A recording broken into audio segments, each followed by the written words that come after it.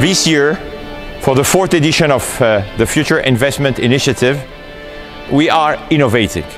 We're innovating because we think that this pandemic of COVID-19 is also an opportunity to change the business models, to reinvent ourselves and to innovate. So to allow this interactive conversation, we are importing here for the first time, we are pioneering in a world of conferences what we're calling the XR technology, extended reality. The XR technology, which stands for Extended Reality Technology, uh, comes from the industry of the cinema and the industry of the e-gaming mostly.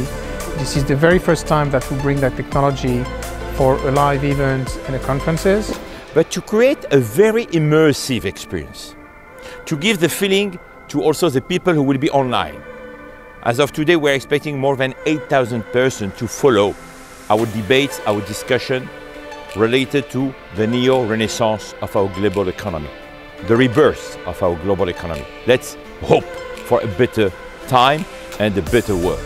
And trust me, you will see and you will experience something never done before, and it will give you the will to follow our 10 plus hours of debate and conversation to be the curator of a conversation which will hope will have a positive impact on our humanity. Thank you.